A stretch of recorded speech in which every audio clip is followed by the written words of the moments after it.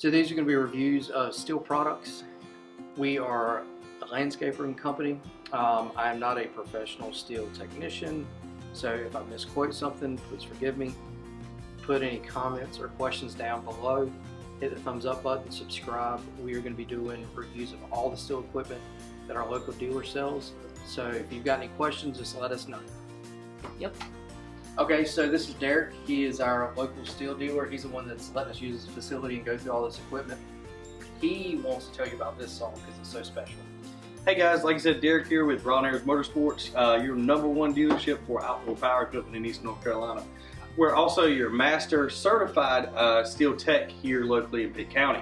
Uh, we have here today the MS271 chainsaw. This is our number one selling chainsaw, also known as the Farm Boss from Stihl. Um, saw is very powerful, coming in an impressive 50.2 cc's uh, and about 3.49 base horsepower. So it's a very powerful chainsaw, and that's why it's the number one choice for most homeowners and landscapers in the US. Um, this guy's, uh, you can get it with a 16 or 18 or 20. Most popular for us, we're gonna stock this with a 20 inch bar, and that comes standard with 325 pitch chain. Uh, the chain is very aggressive, uh, but not so much that it puts the saw under big load. So with that 325, we can handle that 20 inch bar easily. Um, the uh, chainsaw does not, this one doesn't feature any decompression valves or anything like that. It's going to be very easy for us to start. We don't have a big effort as far as uh, starting the saw. Another reason why it's very popular. Uh, but it's also, um, you got your standard features like most of our saws. We got the chain brake feature uh, on the unit and we still have our master interlock switch. Um,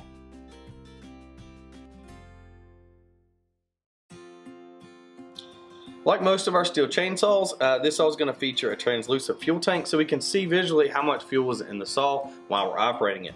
And it's going to feature the flip caps, which are redesigned several years back, so these are a lot easier to open and close now, and they have more indicators on uh, when they're unlocked and locked. So here we can see the circle uh, here, which means I tell people the O is means open, and then if we flip it around to the solid bar, these now match, and we know that the fuel tank is locked securely, and we won't leak any fuel.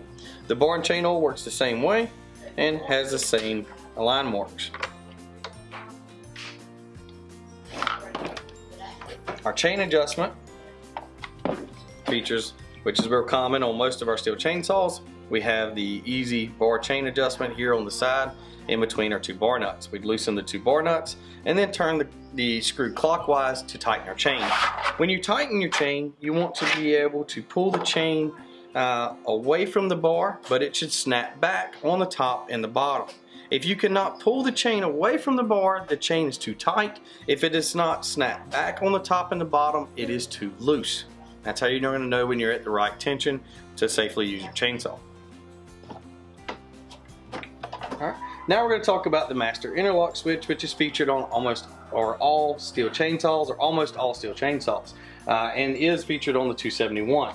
Here, the operator will take one hand and place his palm to push the safety bow down and then squeeze the trigger and after squeezing the trigger then and only then do we engage the master interlock switch because if we try to force this down without squeezing the trigger first we can and possibly do damage to the unit so we're going to again palm down push the safety bell squeeze the trigger and then engage the master interlock. And if we're on a cold start we want to push it all the way down to the cold start position and then release the trigger. The saw will remain in that position while we pull it and uh, until it fault starts once the saw fault starts, then we'll move this saw up to the warm start position and continue to uh, pull the saw until the saw starts and runs. At that time, the chain brake should have been engaged when we uh, first started the saw, and we want to quickly, after the saw starts, it'll be running at a higher idle speed. We want to blip the throttle to release uh, the engine back down to the run and idle speed. Uh, now the saw is good to use and we can release our chain brake and the chain will not turn. Um, Guys, the biggest thing I can give you for advice here is do not let this saw run. It only takes 30 seconds to a minute to cook a sprocket bearing at that higher speed with the chain brake engaged. So make sure that as soon as that saw starts, you quickly flip that throttle and get that saw to the run position. Okay, so this saw, so we just went over all of its features.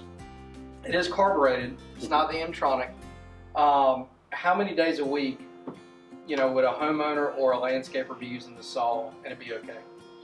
I'm, if you pick up and you're using this saw on a regular basis, thanks to the IntelliCarb system that Stihl has uh, on most of their saws, including this 271, uh, it's going to require little maintenance. So we're usually only going to touch the air filter on this saw uh, if we see a loss in power. So if you start noticing that the saw is hard to start, or if we see a loss in power, uh, we can quickly get to the airbox on these saws. They provide your uh, your bar tool with each one of these that'll open this up. And you can use a T27, uh, which is nice and fits in there, or you can use this bar tool or any flathead screwdriver and get access to our air filter.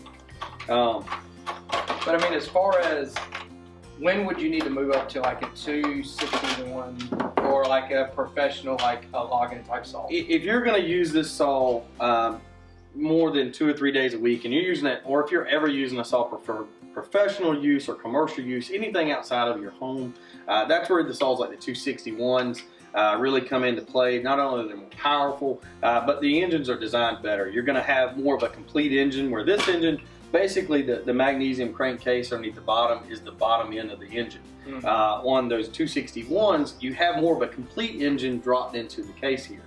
Uh, and you have heavier bearings, and then we've got some uh, difference as far as the intakes, where it may have an M-Tronic feature as well.